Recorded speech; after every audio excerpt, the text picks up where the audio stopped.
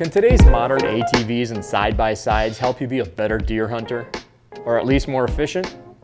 Well, they can, but in most cases it comes down to following a set of rules in the deer woods. Most of them are centered on one thing. Can your ATV of choice help you access your stand undetected?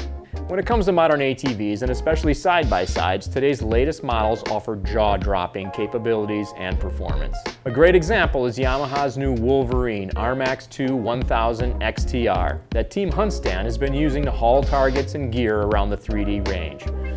And we've been impressed with this unit's speed and power and back-saving convenience. But when it comes to hunting, you've got to know when the best option is sneaking quietly to your stand on foot or using your new side-by-side -side to get you there faster and more efficiently. A great example of when to ride is when hunting ag fields or other farm country field edge areas. Now these areas see regular traffic from tractors, trucks, and even ATVs, and so deer are accustomed to these sights and noises. Have a friend or family member drop you off on the way in and pick you up after dark when fields are likely full of deer. Similarly, we know deer outfitters who like to take this to even higher extremes. They will place stands across varied terrain, not necessarily field edges, where they can drive ATVs on narrow two tracks right up to well-placed ladder stands. And we don't just mean close.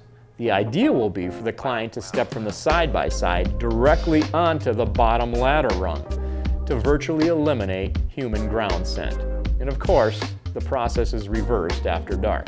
We're told it works like a charm, and so does laying out a system of trail cams on a property where you can do much the same as you check SD cards on a regular basis. That is, of course, if your arsenal of cams does not have the latest cellular capability.